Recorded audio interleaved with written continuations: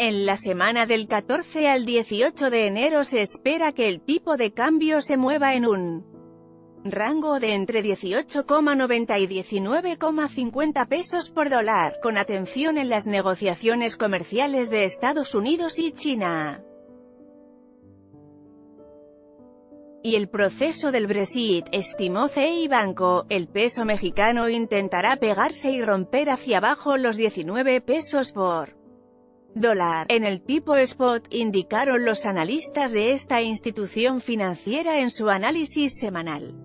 El dólar interbancario cerró este lunes en 18,9865 unidades, en un mínimo no visto desde el 17 de octubre del 2018, con base en cifras publicadas por el Banco de México.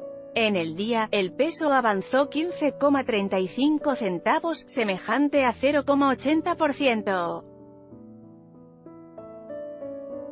En ventanilla bancaria, el billete verde se vende en 19,30 unidades, cifra menor a las 19,45 reportadas el viernes como Cierre por Citibanamex. En el arranque de la semana, el peso mexicano registró un comportamiento positivo apoyado principalmente por un dólar débil en el plano internacional, situación que le ha permitido enfrentar con éxito las preocupaciones y tensiones generadas por el problema de distribución interno de combustibles. El optimismo respecto a las negociaciones entre Estados Unidos y China, y los comentarios de funcionarios de la Reserva Federal, Fed, que dejan entrever que podrían hacer una pausa este año en el proceso de alzas de tasas de interés, son elementos suficientes para contribuir a que se mantenga la tendencia de apreciación de la moneda, indicaron.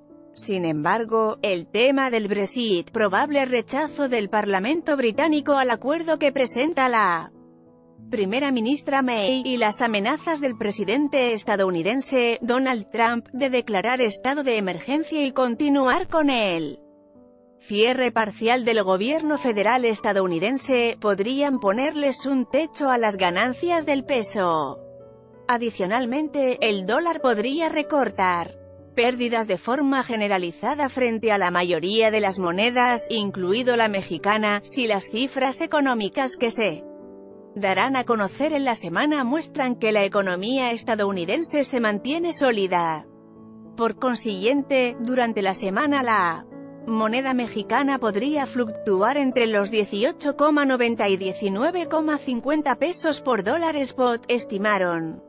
En el mercado primario, la tasa de certificados de la tesorería, CETES, a 28 días podría registrar una baja o mantenerse sin cambios, en tanto, el rendimiento para los bonos de 10 años, en el mercado secundario, podría moverse entre 8,55 y 8,70%, proyectaron.